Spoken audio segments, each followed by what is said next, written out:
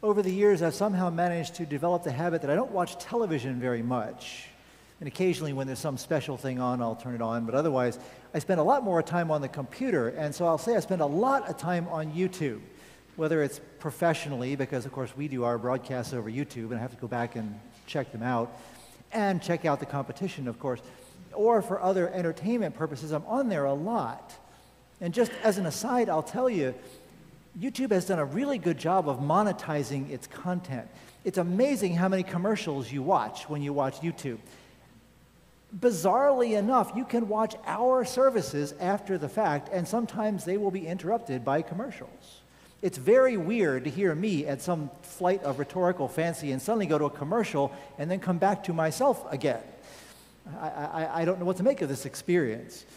But it means that I have seen a lot of YouTube commercials, and this morning I'm thinking of a couple of them in particular that I've seen lately that really struck me as having something important to say. These are from a company called BetterHelp, which does online uh, uh, mental health counseling. I, I, assume it's by Zoom or whatever modality they use, but it's remote services of that sort. And they have lots of commercials, and some of them are very straightforward. They tell you about the product, they tell you about the company, why you should use their product, a standard commercial. But the two I'm thinking of are not like that. They, are, they have no words in them at all, really. They're, for the most part, they're just the, the picture that you see, the, the, the action that you see, with a little bit of indication at the end what company it is, but you don't even know what company it is until the very end. What you see instead is this youngish guy doing things in his apartment. There's one of them where he's making an omelet for himself.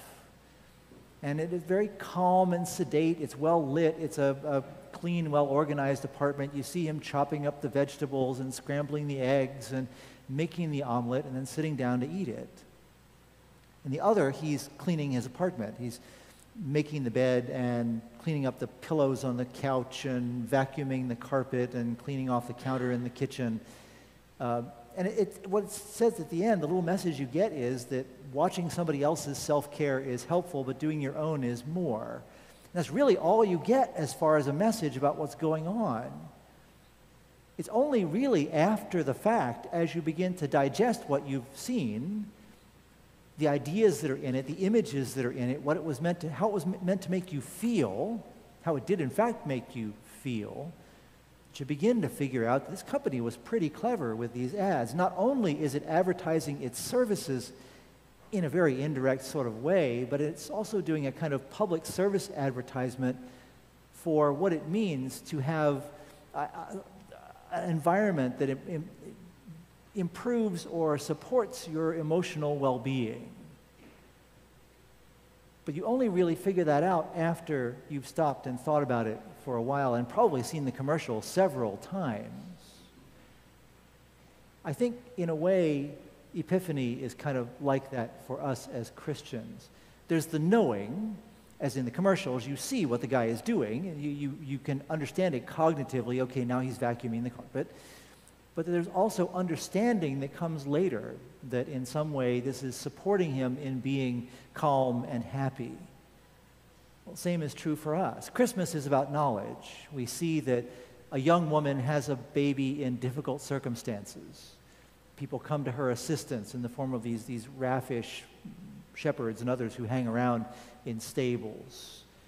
And then these odd foreigners come with impractical gifts you have all these facts. We can know all that stuff, but it's only when we begin to unpack it over the course of Epiphany and indeed over the course of the year that we begin to get a sense of what God is up to, what all of this means spiritually for us and for the whole world, these things that God is doing.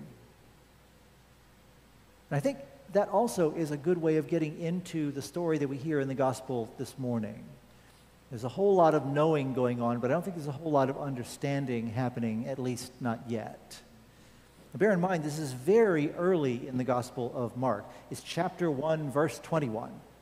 You may know there is no nativity story in Mark. There's no Bethlehem, manger, angels, shepherds, the whole business. The Gospel of Mark is always in a hurry. It jumps immediately into Jesus as an adult recruiting his first followers. So this is barely into, well, here's the guys who are going to hang around with him, and here's the first place that he goes. He goes to the synagogue in Capernaum on the Sabbath.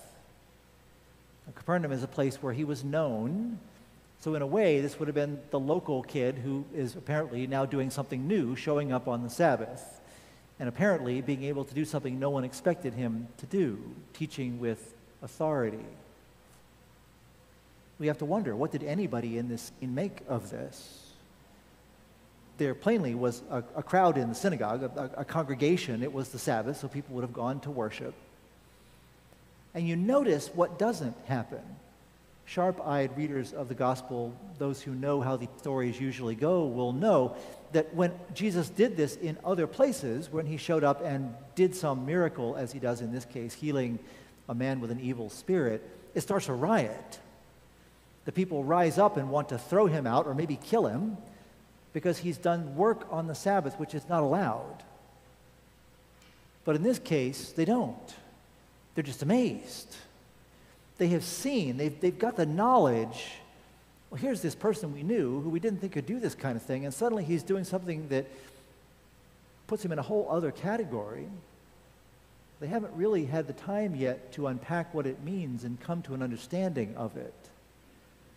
I'm afraid that once they finally did, once they got home and were having lunch or whatever they did next in that day and began to chew on it, they would have come to the understanding oh, that wasn't right. We have rules, we have policies and procedures. You can't do that on the Sabbath. What are you doing? What was he doing? We should have been angry. They, they, they'll come to an understanding, but I'm afraid it's going to be a negative one.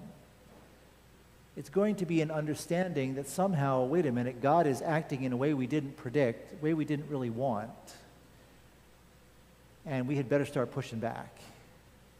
So there's knowledge in the moment, and in a way, they respond as they should have. Like, wow, this is amazing. It's only later with the understanding, perhaps, that they come to what we would have expected of them. Then there are the followers of Jesus, these this group of people who've only really just begun going around with Jesus. And again, there's something strange here because then and now, right down to the present day, a rabbi would not have gone around recruiting followers. Rather, if you wanted to listen to a rabbi or follow a rabbi, you would have gone to that person and begun following that person. The followers chose a rabbi, it wasn't the other way around.